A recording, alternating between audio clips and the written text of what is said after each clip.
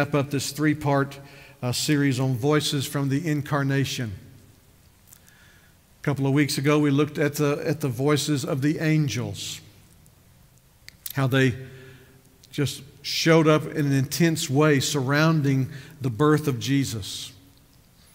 And then last week, we looked at the voice, voices of the women, how, how prominent the women were in the birth of Jesus, how prominent the women are because of the gospel of Jesus Christ. Today, we want to take a look at the men. The men. We're going to uh, read. I clearly have been distracted during this season. I don't like to be. Um, but I've been studying this, and I told Linda, put Luke 1 18 to 25 on the bulletin, even though I was looking at Matthew 1 18 to 25. And, that's, and that is strictly on me. It just shows you how I, was, I knew where I was going, but I wasn't telling others where I was going, all right? It's Matthew 1, 18 to 25. Make no mistake, Luke 1, 18 to 25 is fantastic. Read it. But we're looking at the voices of the men this morning, Matthew 1, 18 to 25. I hope you'll find that in your Bibles. When you find it, stand with me so we can read. You can follow me as I read. If you don't have your Bible, don't have access, we've got the text on the screen for you for that very purpose. Listen to this. Now, the birth of Jesus Christ took place in this way. When his mother Mary had been betrothed to Joseph before they came together, she was found to be with child from the Holy Spirit. And her husband Joseph, being a just man and unwilling to put her to shame, resolved to divorce her quietly.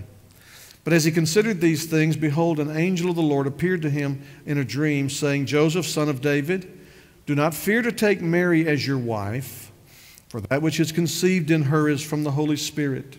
She will bear a son. You shall call his name Jesus, for he will save his people from their sins.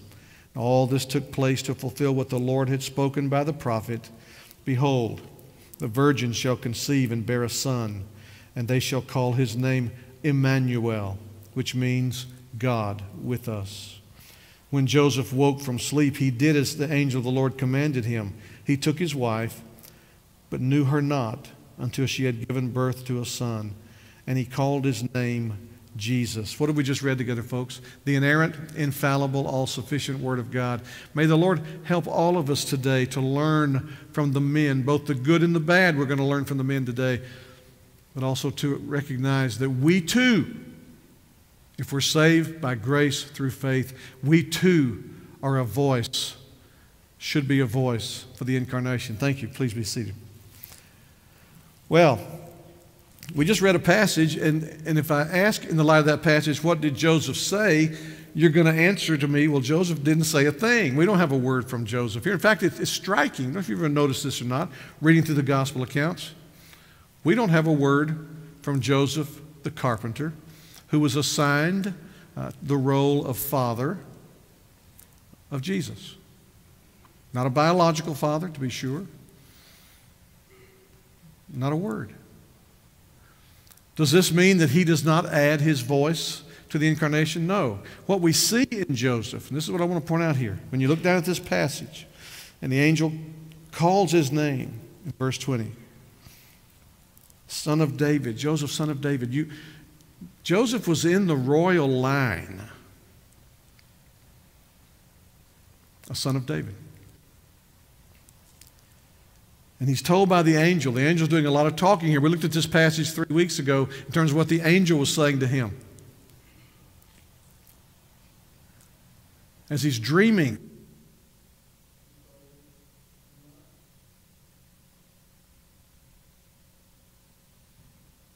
told, do not be afraid to take Mary as your wife for that which is conceived in her has been placed there by the Holy Spirit. And he goes on and tells him what's going to happen. She's going to have a son. We don't have to wonder at that point what the sex of the child's going to be. You're going to call him Jesus. Don't have to wonder at all what we're going to call him. Are we going to carry on the name, the family name? None of that was up for grabs.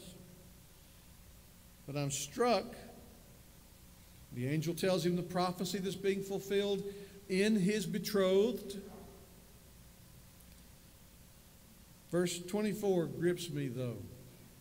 Because I read this and I ask myself, and I want you to ask yourself, would I have been this compliant? Would I have been disobedient when Joseph woke from sleep? He did not say something, he did something.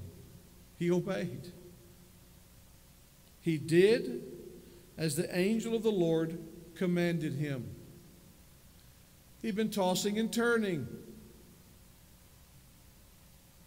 fighting the temptation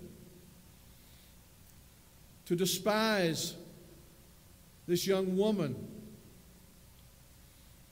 whom he had set his heart upon marrying. Wondering, what do I do? If I follow the tradition of the law, I will be the one to consent to her being stoned to death. In fact, when you read these accounts externally of the scriptures, you discover that he may have been the one called upon to throw the first stone because, because the fact of her being pregnant outside of their union shamed him first. And as he wrestles with this, he comes to the conclusion I can't do it. I can't do this to this young maiden. I will divorce her quietly. Understand, folks, you read this text, he'd already made up his mind. He was going to take an honorable way out of this union in the way that would least harm her. And as he dreams, he receives a communication from the announcing angel. Don't be afraid to do this, Joseph. Don't be afraid to marry her. What's happening to her is not a result of her sin, but a result of God's grace. She's going to have a son, Joseph. A son. Every good Jew who was a man wanted a son.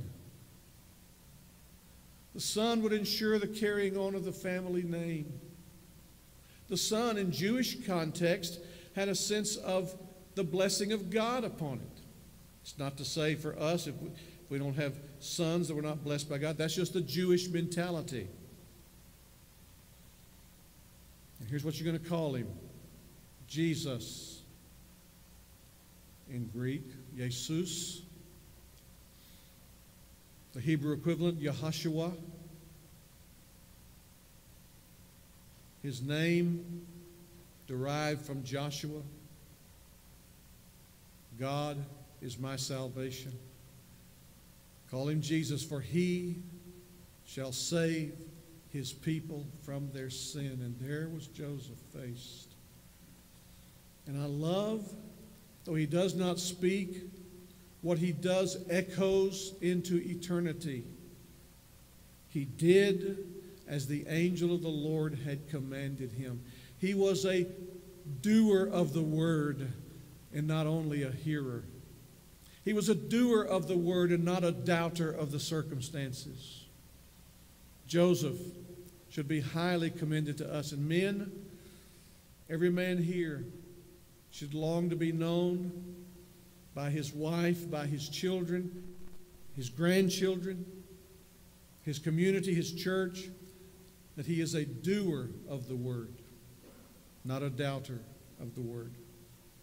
And then we shift to another a group, the, the Magi, these Eastern uh, stargazers, these astronomers. They, they studied the stars, the charts, the movements. They read historical texts these were not Jews, but they were familiar with the Old Testament prophecies. These were serious students. Chapter 2, verse 1 and 2. After Jesus was born in Bethlehem of Judea in the days of Herod the king, behold, wise men from the east came to Jerusalem, and they were inquiring, Where is he who is born King of the Jews? For we saw, we saw his star when it rose and have come to worship him. That's gripping. I want, I want to challenge you. What did they have to go by? They had the prophecies of the Old Testament that were not native to them.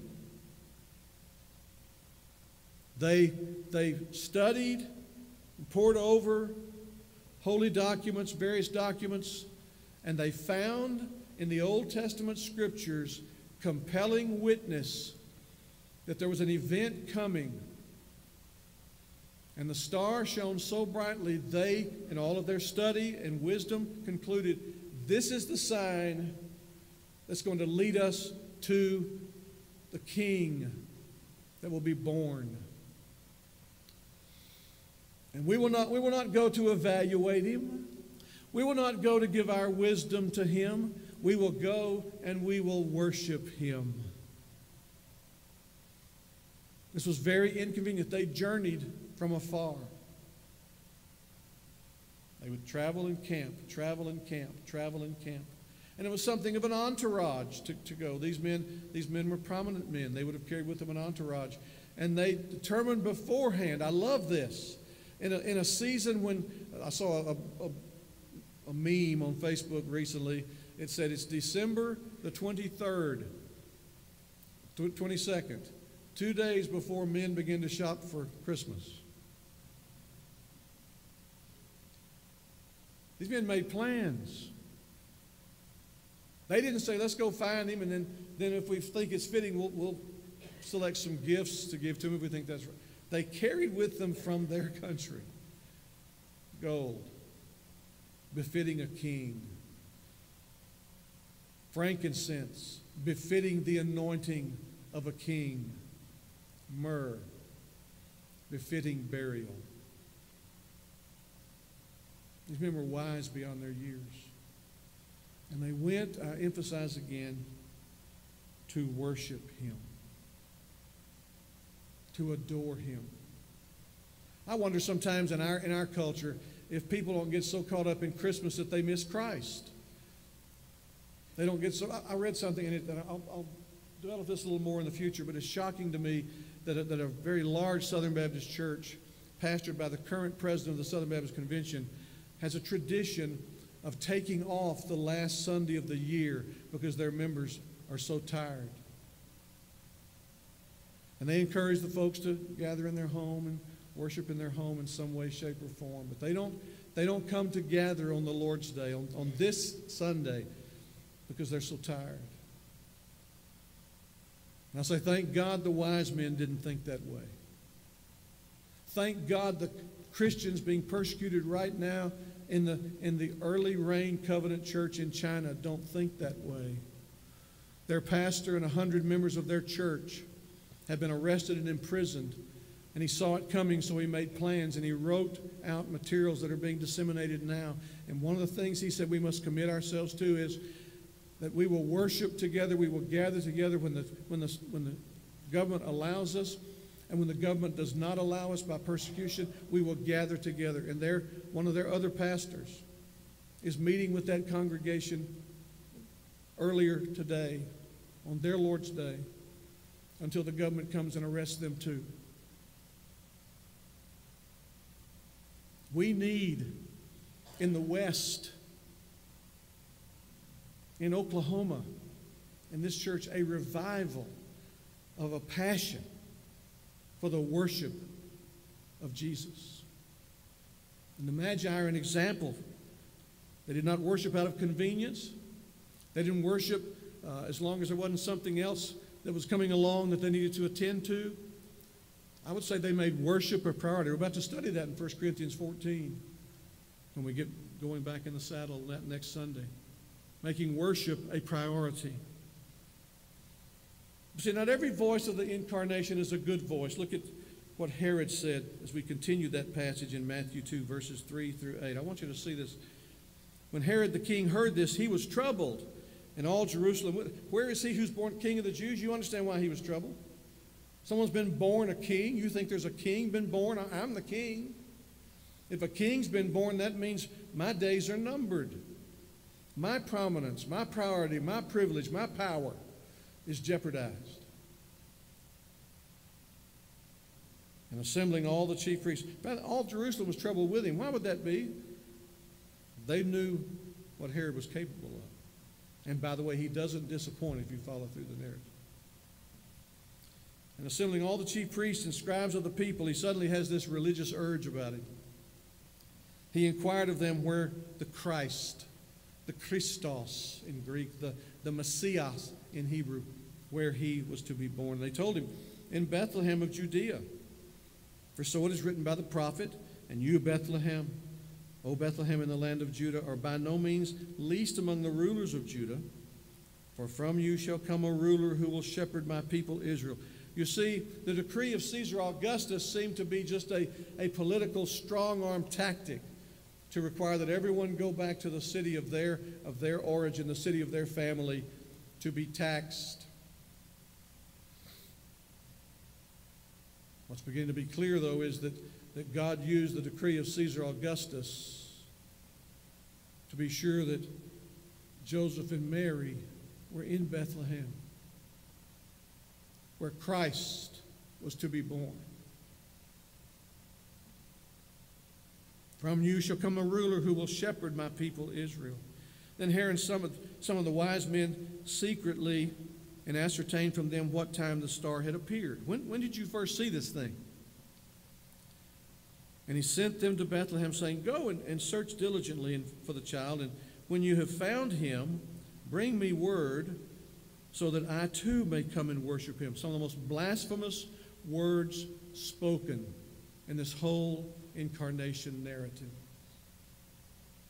Herod had no desire to worship.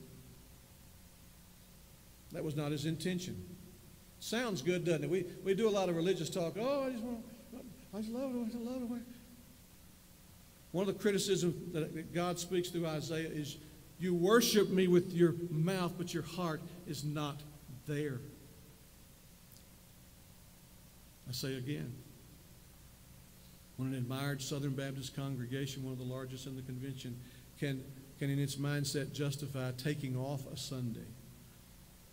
I thank God Jesus didn't take off on Good Friday. I thank God he hadn't taken off since he re entered heaven. he ever lives praying for you and me. Herod, a blasphemer. Because you know what he wanted to do. You've read the narratives, you've read on through. When he ascertained that this thing had been going on about two years, then he sent out his forces to lay hold of and slaughter every male child who'd been born who was two years old or younger.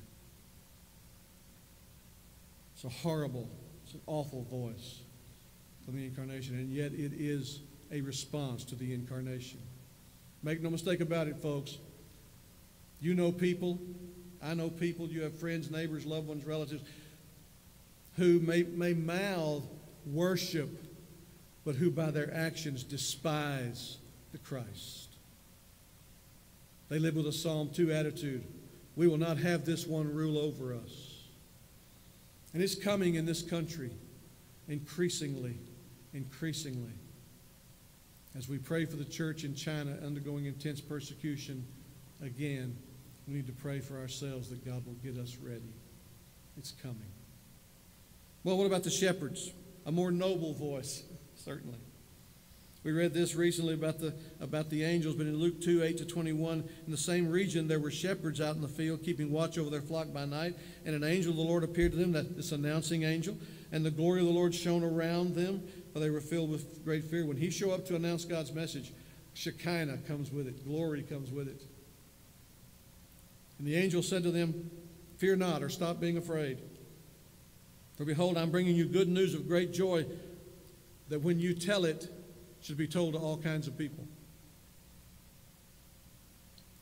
For unto you is born this day in the city of David, that's Bethlehem, a Savior who is Christ the Lord.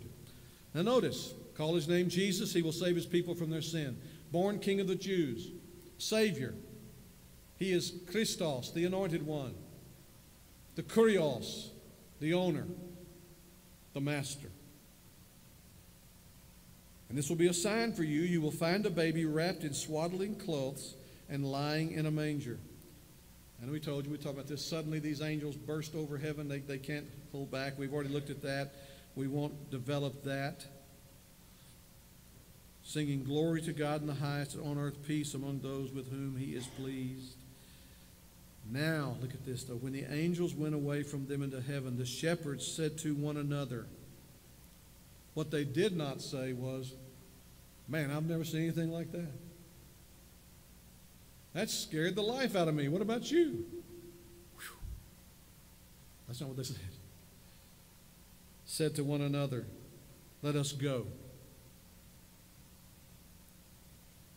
The gospel moved them. Let us go over to Bethlehem and see this thing that has happened, which the Lord has made known to us. I love that they did not they were not content to live off someone else's gospel message. They were not content to live off what someone else had experienced. They themselves wanted to taste and see the Lord is good. This is not a lack of faith here, folks. This is movement because of faith.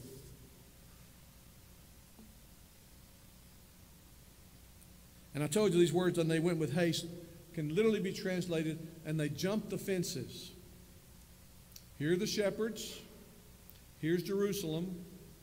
Here are fenced pastures that they would have to zigzag around. The scripture says they jumped the fences.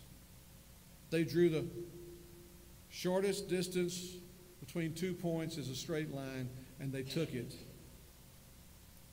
They didn't hesitate, and they found Mary, who'd been told by the angels. They found Joseph, who'd been told by the angels, and the baby lying in a manger. Notice this, though. These men are not just disciples, they're disciple makers. And when they saw it, they made known the saying that had been told them concerning this child. They didn't say, "Wow, this is wonderful. Let's just let's just hang with Joseph and Mary." No, they'd come face to face with the King of the Jews, Jesus, the Savior of sinners, the Christ, the Lord, to whom they owed their allegiance and their lives. And how do I know they told it to others? Look at verse 18. And all who heard it wondered at what the shepherds told them. I've, pon- I've pondered that from time to time. Do I communicate the gospel to people in such a way that it causes them to ponder the marvel of it? Do I speak it as just a, a series of historical facts, or do I speak it as a, as a reality that's transformational, it's transformed my life, transformed the lives of all who receive it? How do you communicate the gospel? Do we speak it with passion? Do we speak it with a sense of urgency? Do we speak it with a sense of wonder? My friend R.F. Gates used to say to me, Bill, I don't want to wake up. I want to die in my sleep. I don't want to wake up to a morning where I've lost the wonder of Jesus. And I wonder have you lost the wonder? The shepherds were moved by that. Mary's taking all this in. Verse 20 the shepherds returned, glorifying and praising God. Here's what the picture I get. When they were in Bethlehem, and they saw what the Lord had done and they were convinced this was the Savior, they went across Bethlehem telling the good news. And the time came when they had to return to their, their shepherding responsibilities. And they went praising God. This provoked not only a witness in them, not only a discipleship attitude in them, it provoked a sense of worship in them. And I want you to mark that down. Every person we've encountered in this voice of the incarnation worships, except Herod. And he says he wants to, and he's the liar. Glorifying praising God for all they had heard and seen as it had been told them. And then it was time to take Jesus to be circumcised. And so we look at what Simeon, we're going to close with this, what Simeon said. And this is precious. They take him to be circumcised, as is written in the law, after eight days, and to offer a sacrifice according to what is in the law, what they can afford a pair of turtle doves, two young pigeons, that that's for the particularly poor. Now there was a man in Jerusalem, verse 25, whose name was Simeon. And this man was righteous and devout. I would, oh, dear God, I'm, man, can you, can you think of a better way to be described? Righteous and devout, waiting for the consolation of Israel. Why was this man living? And the Holy Spirit was upon him. He's an older man. He's found where he should be found, where a man and his family should be found at the temple worshiping. The Holy Spirit's upon him. He's, he's being moved and led and instructed by the Holy Spirit. And it had been revealed to him, just as, just as Mary had a revelation, just as Joseph had a revelation, just as the Magi had a revelation, just as the shepherds had a revelation. It had been revealed to him by the Holy Spirit that he would not see death before he had seen the Lord's Christ. By the way, if you've been saved by grace through faith, you've had a revelation. You've been shown your sins, deserving of hell, and shown a Savior who came to live and died and rose again that you could be saved. Read Pilgrim's Progress when Hopeful tells his testimony to Christian. Christian says, That was a revelation to your soul indeed.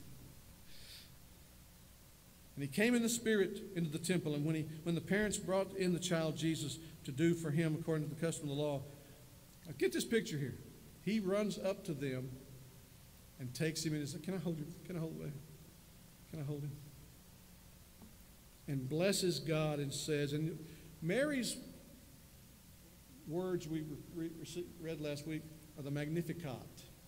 This is called the Nunc Dimittis. Now, Lord, you are letting your servant, Nunc meaning now, Dimittis, depart. Now, Lord, you are letting your servant depart in peace according to your word. For my eyes have seen your salvation, that you have prepared in the presence of all peoples. Look at what this man understands. He understands something that the early church in Acts 15 is still struggling with a light for revelation to the Gentiles and for glory to your people Israel. Joseph and Mary are standing here. This man, as a stranger, has walked up. Basically, I don't think he coerced her, but he, I think in a pleading way convinced her to place this little baby in his arms. And he begins to praise God and bless God. And his father and mother, Joseph and Mary, are marveling at what was said about him. There's a whole lot of marveling going on with Joseph and Mary around the incarnation. I think you'll agree if you've read the, the narratives. And Simeon blessed them and said to Mary, his mother, so he blesses them. Oh, God, bless these parents of this child.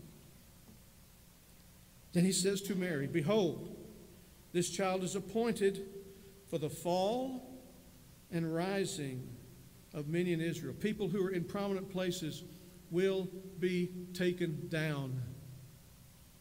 Well, you put this in another context, this sounds like insurrection. No.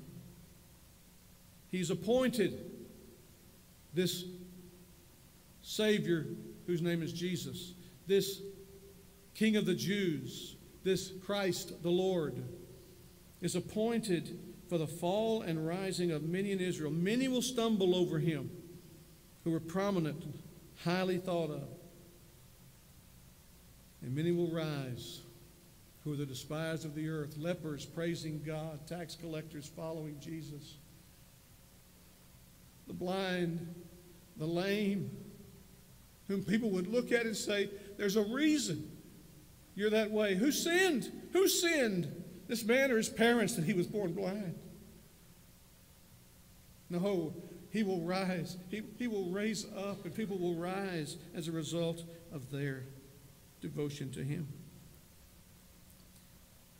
and for a sign that is opposed.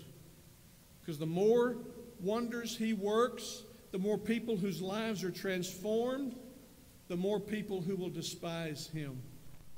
That's what's happening in the church in China and around the world. And then he says, A sword will pierce through your own soul also.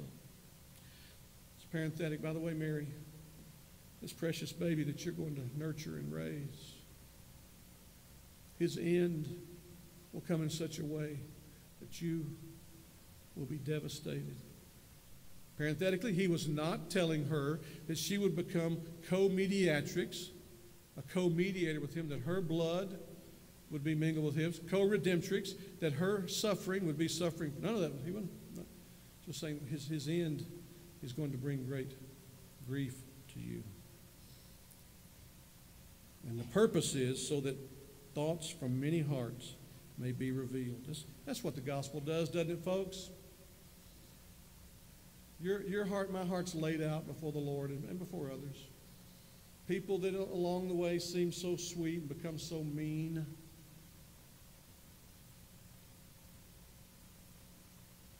People that seem to have little to offer and yet flourish and, and make great impact.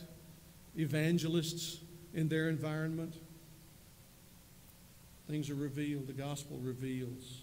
Not only a revelation of the glory of God, the gospel reveals it. The word cuts to the dividing of joint and marrow, soul, soul and spirit. It opens it up.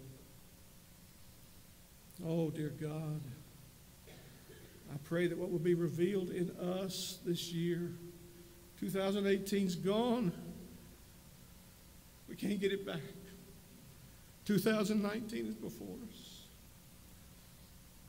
May our thoughts and hearts be revealed, and, and what is revealed shown that we are, we are lovers of God. We're followers of Christ. Nothing gets in the way of that. We're not convenient Christians, we're committed Christians.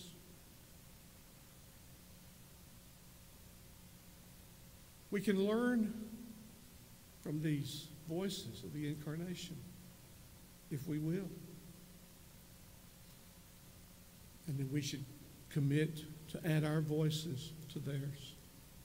Because the, word, the world still needs to hear a Savior has been born.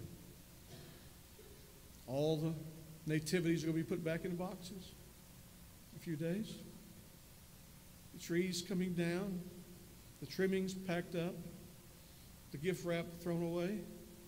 But the world still needs to hear there has been born to us a Savior who will save his people from their sins. His name is Jesus.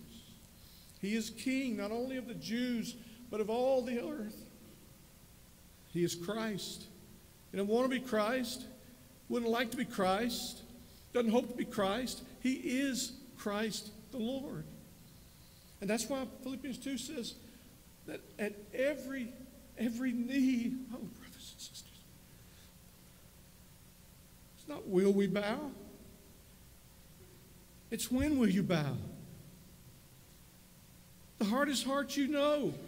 It's not a question of will he or she bow, it's when. Will we bow while we live to the lordship of Christ, or will we bow at the judgment to our utter condemnation? Herod teaches us it's not enough to talk about worship. Joseph teaches us we need to be doers of the word. The Magi's teach us that, that there is no inconvenience so great that should hinder us from our pursuit to discover him who's born King of the Jews.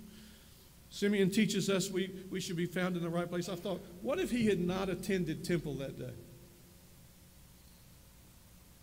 What if he said, I'm tired. I've been doing this for years, looking for the Messiah. Hadn't come yet. I'm going to take a day off. I deserve a break. He would have missed holding the Lord's Christ. Oh, brothers and sisters, the voices from the incarnation shout to us in this generation. In the West, where our temptation is to take our ease in Zion, they shout, Tell the good news. Embrace the good news. Bow to the babe of Bethlehem, who's King of kings and Lord of lords. Live your life for him. Because when it's all been said and done, that's what matters. Did I live my life for Him. Is that you?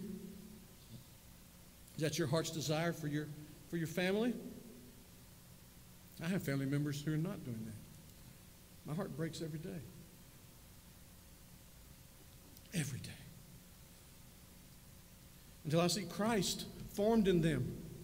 I'm a pastor. My heart breaks every day for members until I see Christ being formed in them. Let's not let this season of the incarnation pass us by without coming face to face with its realities and its implications. Let's pray. Dear Holy Father, God and Father of our Lord Jesus Christ, we come to you in Jesus' name and oh, oh, in the face of such commitment, such determination, we repent.